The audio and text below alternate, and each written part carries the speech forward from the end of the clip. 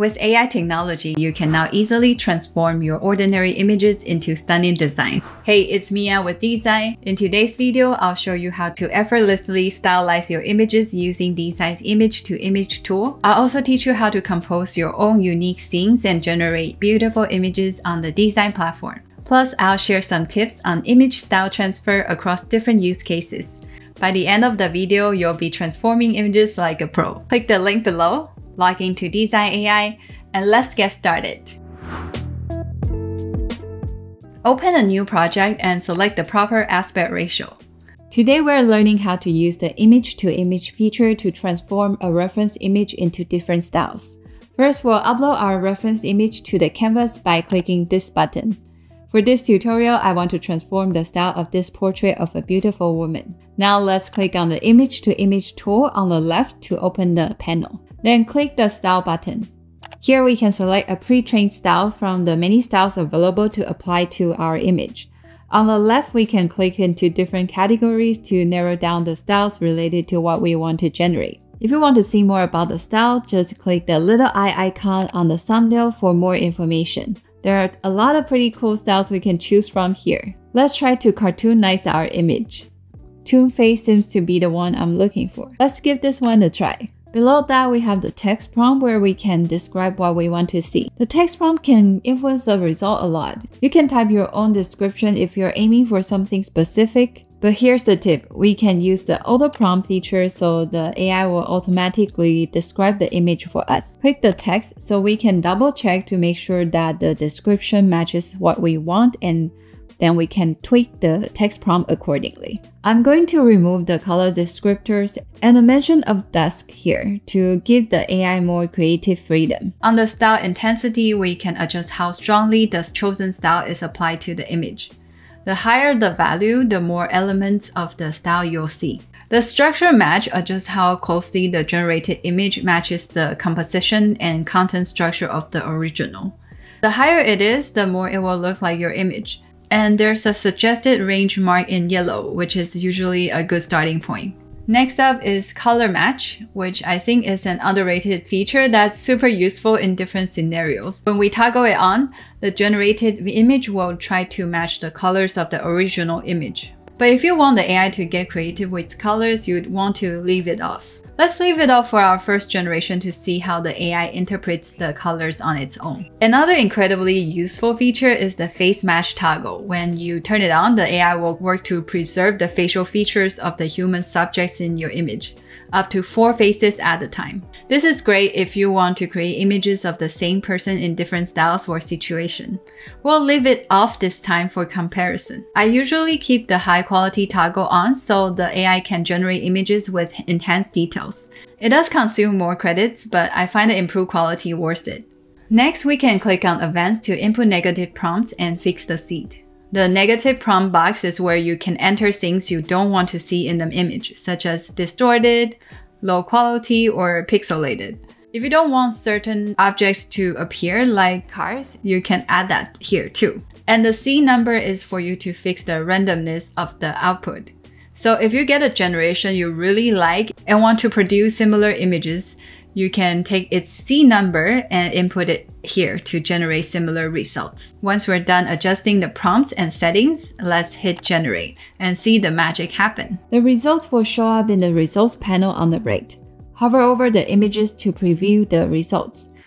We can download it here or click the compare button on the image to compare it with the original on the canvas. These results have preserved the structural outline of the original reference, including the position, posture, and overall composition. They even capture subtle details we didn't specify like the perspective on the background, the style of the hair, and the look of the coat. Because the structure match scale was set pretty high, also, we can create more variations of one of the result by clicking the number corresponding to the image next to variation. Then a new set of results will be generated. So the face of the generated results don't look exactly like the girl because we didn't enable face match. Let's try again using the same style and keeping the structure and style influence the same. And this time we'll turn on both face match, and color match to see the difference. With the color match and face match turned on, now these results are definitely more consistent to our original image. When we hold the compare button, we can see that the colors are more aligned with our original image thanks to the color match feature. And with face match, we can create the same person appearing in different outfits and settings. Here are some other styles I've experimented with on Dzine. Just by using the many preset styles available, we can achieve some really interesting and high quality results. But what if you want a style that's not yet in the style library? In Dzine, we can easily import our own style and use it as a style reference. To do that, click the Style button, and at the top, you'll see two options, Quick Style and Pro Style. Quick Style lets you instantly upload a single reference image to quickly capture its essence, while Pro Style allows you to upload multiple reference images in order to learn your style in greater detail but it takes longer to process. Let's try the quick style first. We can upload an image or choose one already on the canvas. I'm uploading this image that has a really cool style and I'm curious to see if it can transfer to my image.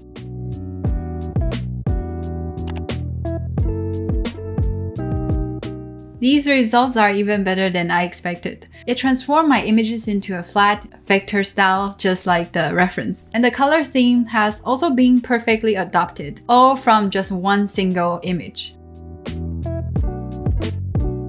To find the styles we've used or trained in the past, simply head back to Style panel, look under My Styles, and then we'll see the styles we've used here and we can reuse them anytime. Now let's try out the Pro Style for a more comprehensive and accurate style match. Let's click on the training guide to see what we need to do.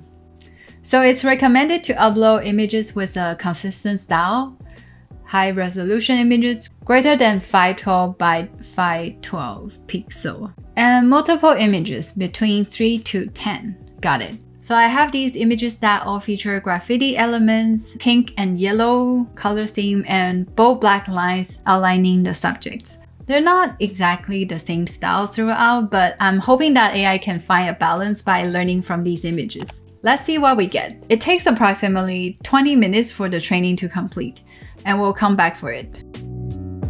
Time's up, let's apply the style we just trained. So let's head over to My Styles. And there it is. Our newly trained style is here. Let's see what we've got.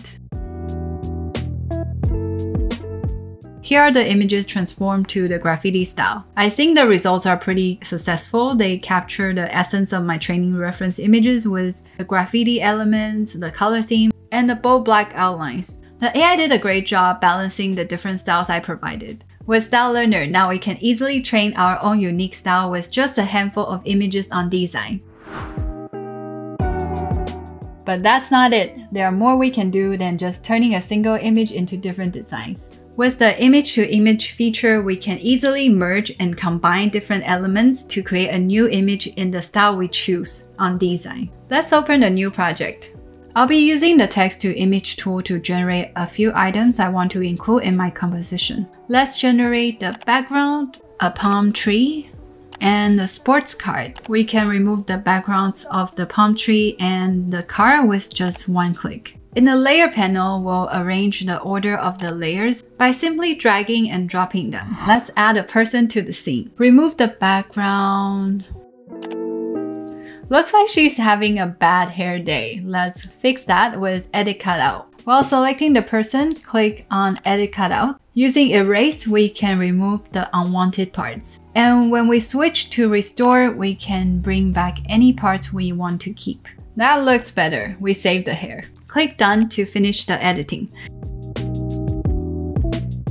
I think many of the elements are not really facing the right direction. We can fix that by right-clicking while selecting the items and choosing Flip Horizontal to mirror the image. Then we can now put them in the right places. For the tree, let's add a bit of flair by tilting it. When selected, hover over the handle at the top until you see the rotation cursor. Hold the mouse button down and rotate the image to the desired angle. Now our composition is ready. Let's try applying the toon face style click Auto Prompt so the AI will describe what it sees on the canvas for us. Let's see if the text prompt is correct. Adjust the other settings as needed and click generate. Let's try different styles. And here are the fantastic results with the different styles I've tried.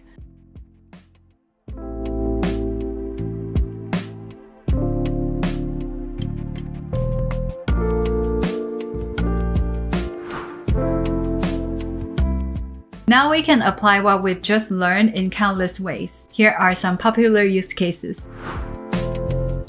Just like I demonstrated earlier, one of the most popular use cases is transforming human portraits into different styles. This is a fantastic way to create fun and unique avatars for your social media profiles or create a personalized gift for your friends and family.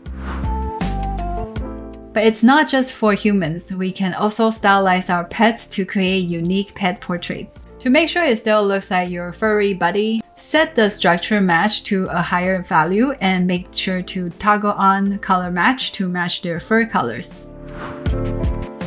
We can also transform our logo into different styles for marketing purposes. You can experiment with various styles, but for this use case, you might find interesting options under logos and icons and material art. The style intensity and structure match settings are yours to play with. It depends on your specific needs. For more creative results, I usually turn off the color match and face match features. Additionally, we can customize the scene using the realistic style and describe what we want in the text prompt.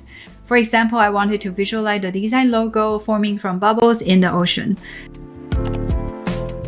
And the results were pretty amazing. We can also restore and colorize old photos. Generally, I'll choose a realistic style and provide a simple prompt. To ensure the new image closely resemble your original photo, maximize the structure match, turn off color match, and turn on face match. This way, the result will look a lot like your original photo but with colors.